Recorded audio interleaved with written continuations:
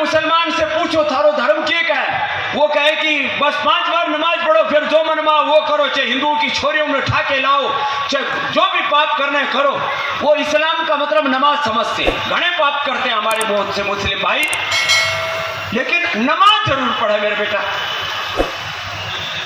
क्योंकि उनको यही सिखाएगा, बस नमाज़ पढ़ो, बाकी जो करना है करो। आतंकवादी बन गए घने बाकी और जितने भी अपराधी घने बन गए, नमाज़ ज़रूर पढ़नी। बस इतना ही सिखा नमाज़ पढ़ो, जो मनमाए वो करो। ऐसा हिंदू धर्म नहीं है।